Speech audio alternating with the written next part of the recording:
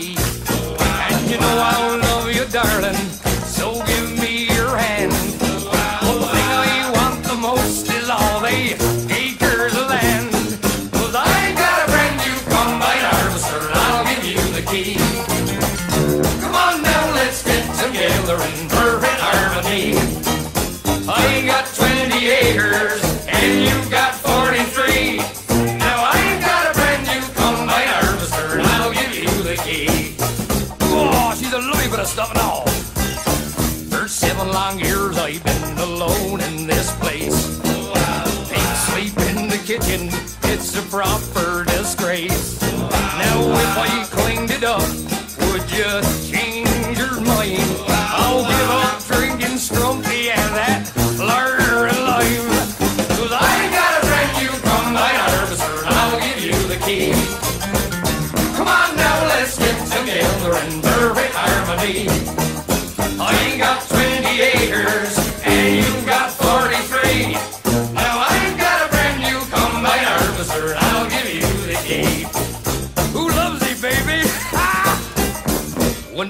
grand couple at that last Wurzel dance? Oh, you wore brand new gaiters and me corduroy pants in your new Sunday dress with your perfume smelling grand.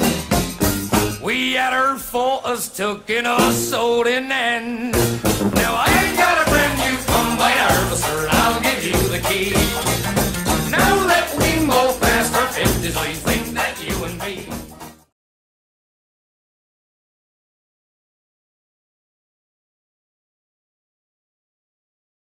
Got pulled off here in about 1987, doesn't Yes, they did, and they've been rebuilt by my father.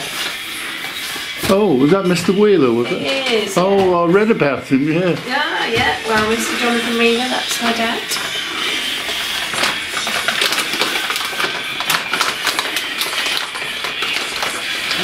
It's nice to see it restored, as I say though, because you know, it used to have two, just one sail on it at one time. Yes, yeah. well, We got the first set done.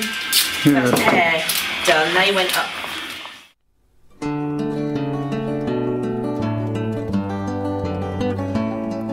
From Lowestoft to Leiston, from Snape down to the coast, take a trip along to Thorpeness, a folly there they boast. There's fun to find in Felixstowe, I'll see you at the spa, and from Dunwich around to Aldeburgh isn't very far.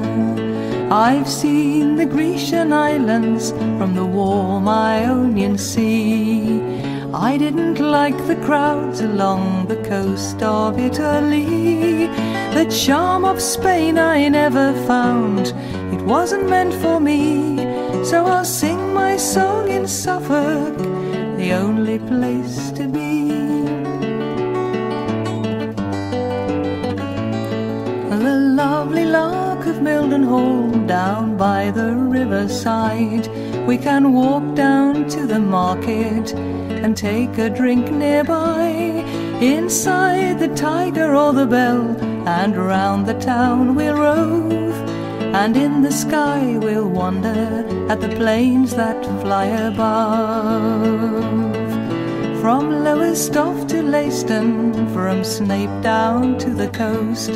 Take a trip along to Thorpeness, a folly there they boast. There's fun to find in Felixstowe, I'll see you at the spa. And from Dunwich round to Aldeburgh isn't very far. I'll watch the golden. Built some 200 years ago, the windmill is in good working order following a long period of restoration, which started by the owner in 1989.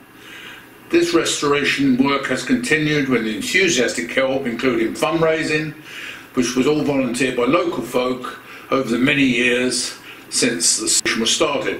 The saving of this charming iconic landmark is now assured. The result is a credit and testimony to the hard work and dedication of all of the people involved in the restoration project.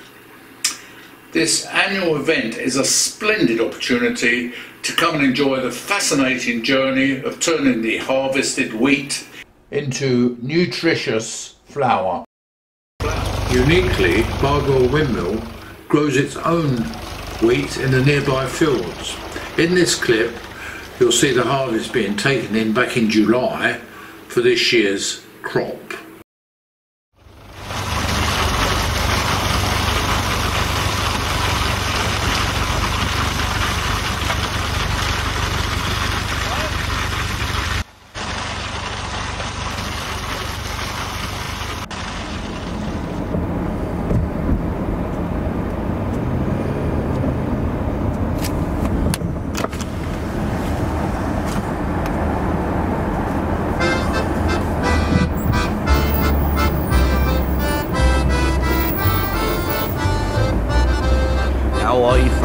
Congresbury when I were a boy. According of Rose, she were my pride and joy. Now Rosie was pretty and just seventeen when I showed her the works of me threshing machine.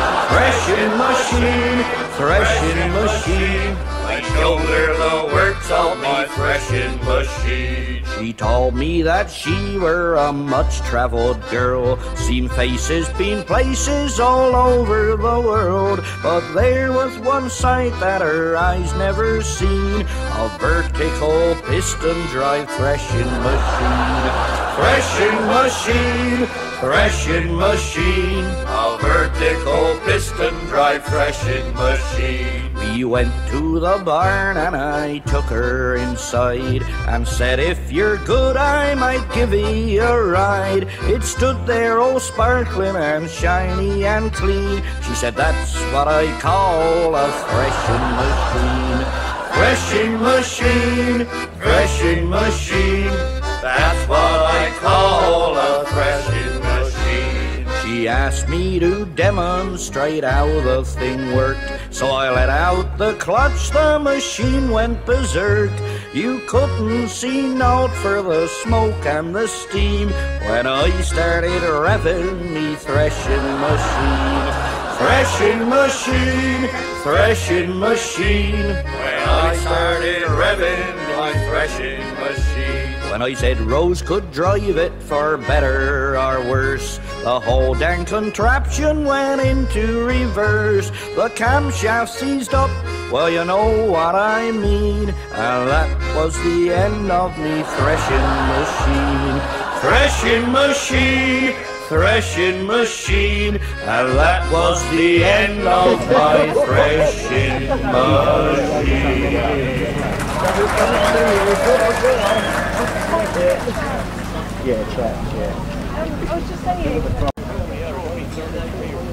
Still can't notice no?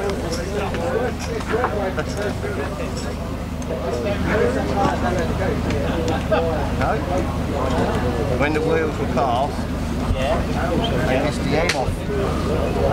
Of the two back ones.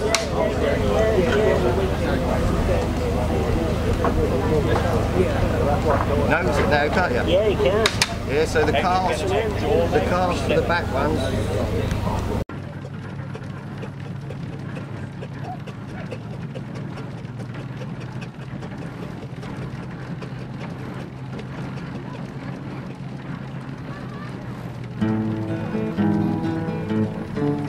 The people came to Rougham Fair, the sun shone bright.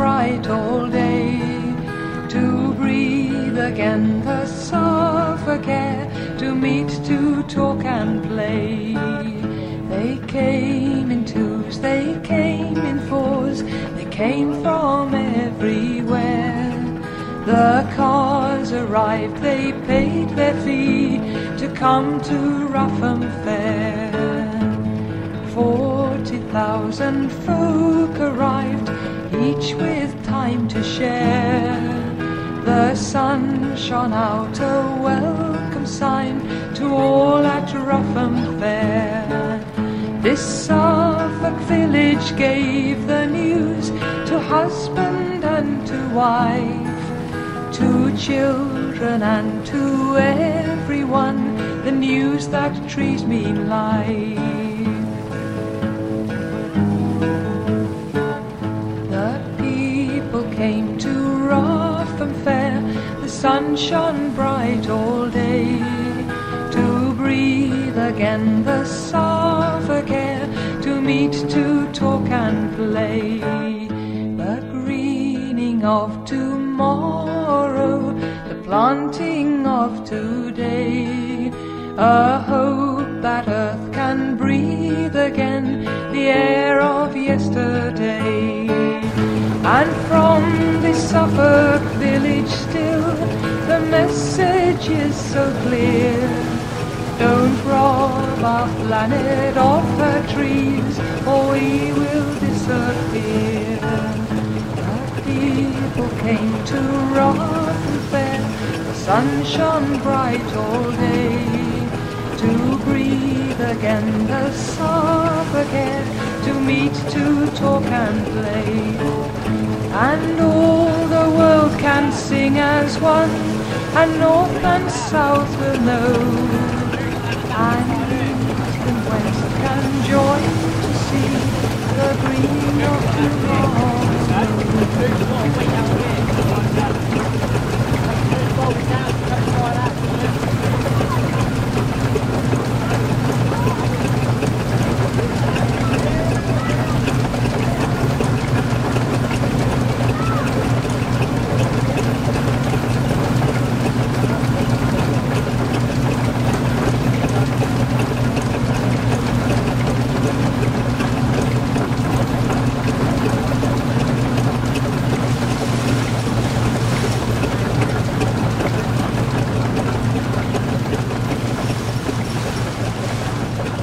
When we were young, me mates and I, we worked upon the farms, and there we ploughed and sowed and reaped, and brought strength to our arms.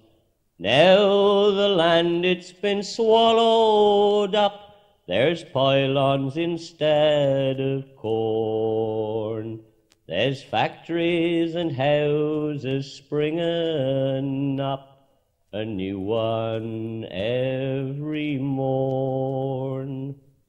I watched the seasons come and go, rain, sun, and winter snow. I brought young beasts into the world, reared them and watched them go. Now factory farming, it's all the rage. There's more beasts in less room. It's push button feeding for them now. No need for stockman nor groom. And we might say all worked on their land to draw their weekly pie. And Saturday night now we all would meet and drink it all away.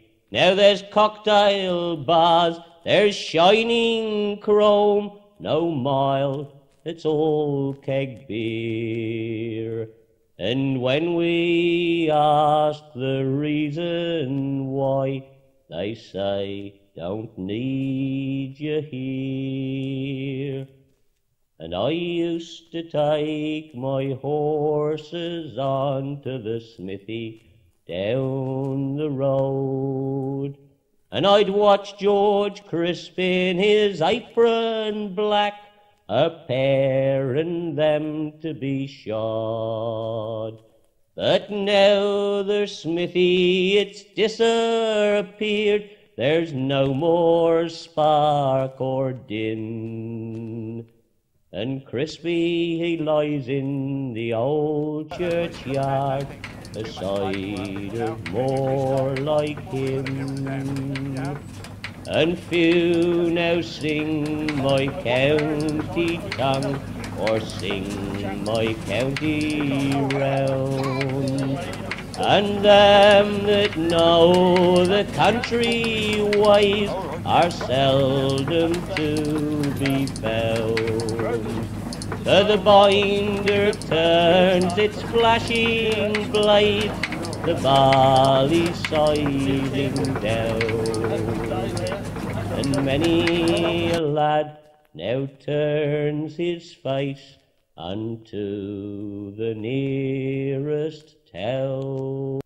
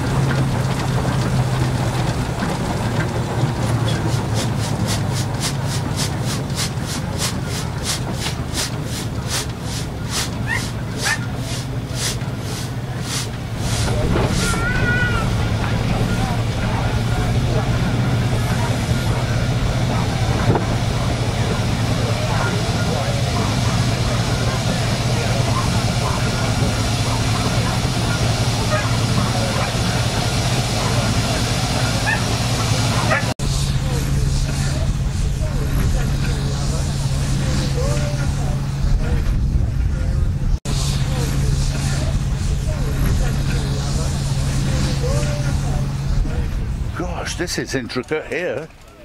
That's fantastic. Well, what, you're looking at this one?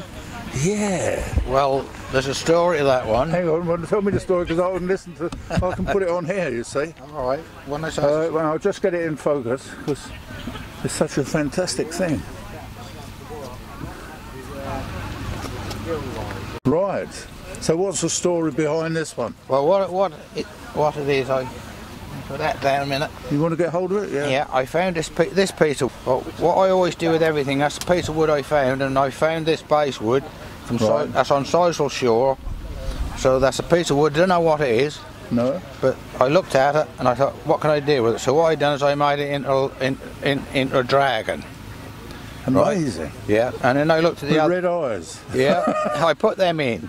Yeah. right? And the teeth. That's the only thing I'd done. The bit, the rest of the wood is the shape it was. But this end, you've got a codfish, right? I see. Turn it round like that so I can see it. It's, it's all right. That's got a green. I, I put the eyes in. That's all I've done. Put a mouth in. That's a bit of a, so that's a codfish. Yes. So you got dragon that uh, end, codfish. So we've got a fish one end, yeah, dragon the dragon the next. And what I decided to do was make it into an animal theatre, right? Right. Okay. Don't ask me why. These are all an- all creatures, right? They're gone to the theatre, right? This is that's that's, um, that's Olivia Newton-Wrong.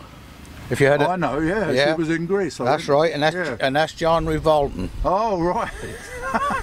So Fantastic. They're both So sing. just hold it still because I can. That- it's so small. Yeah, they're both singing to the So crowd. there's Oliver Newton John. Olivia, no, that's Olivia, Olivia. Newton wrong. You have to say. Oh, right. That's a Okay. play on her name. Olivia Newton wrong, not Got it.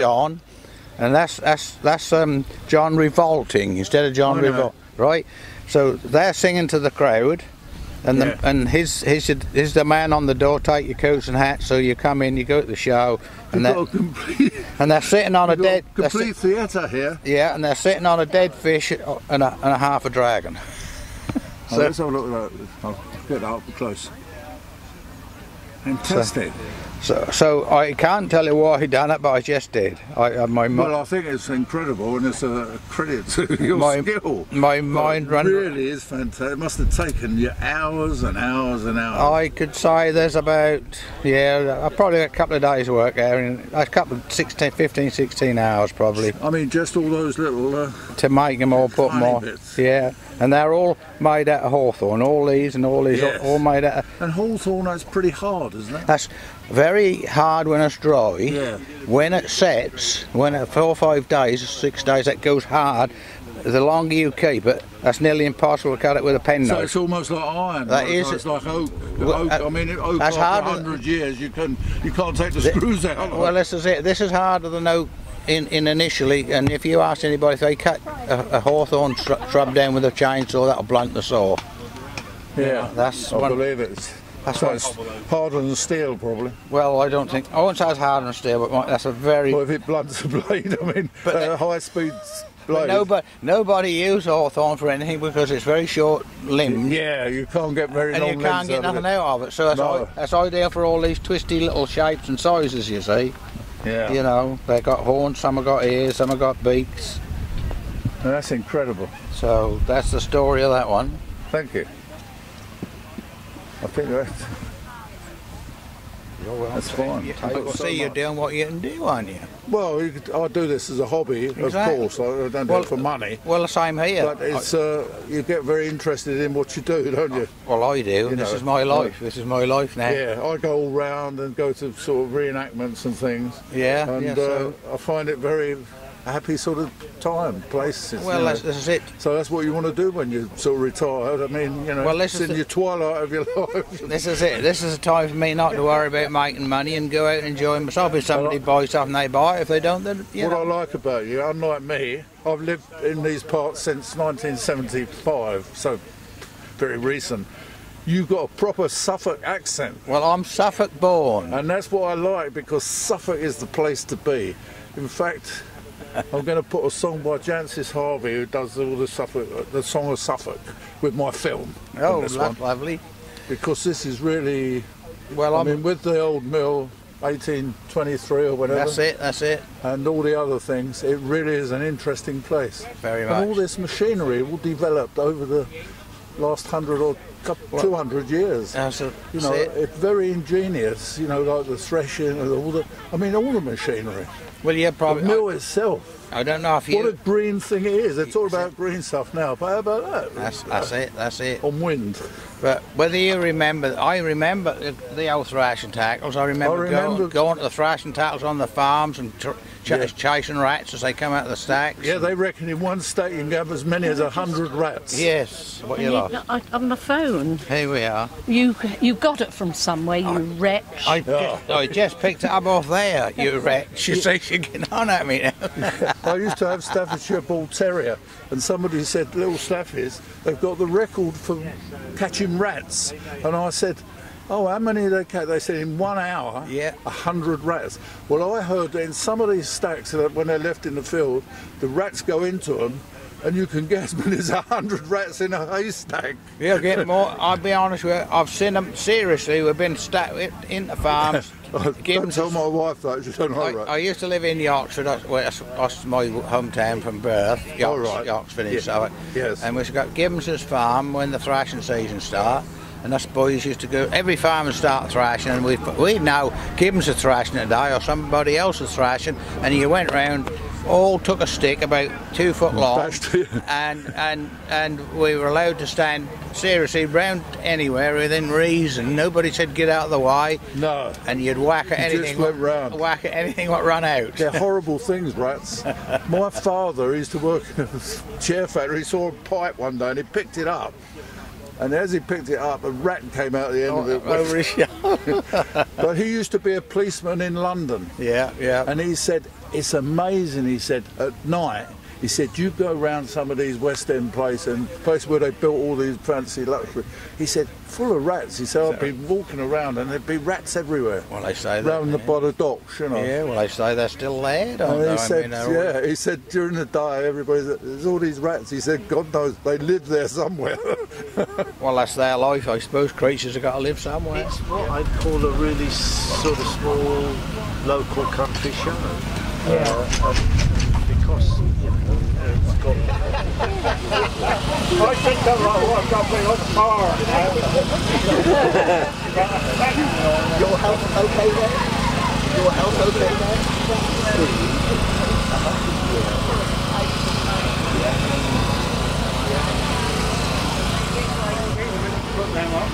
Oh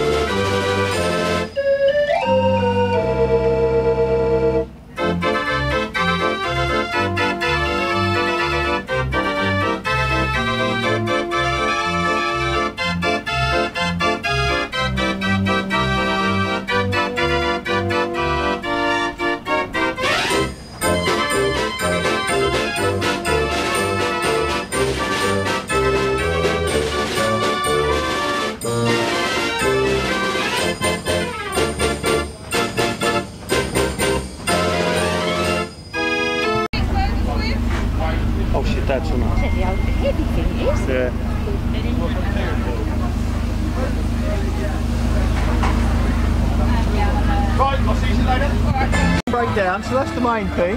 You got here in one piece. You've got to get back home yet, though. Yeah, that's the easy bit.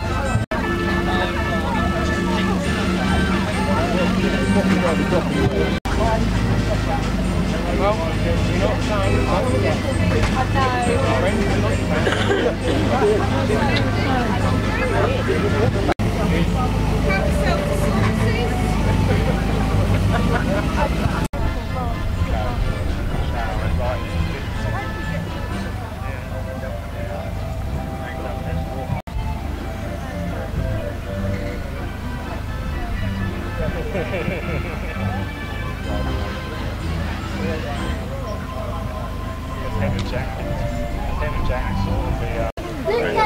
selling the nails. Oh, sorry. Do they into that?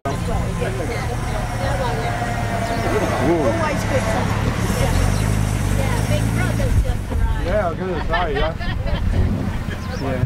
Do you want to walk along to the church and back? Okay, yep.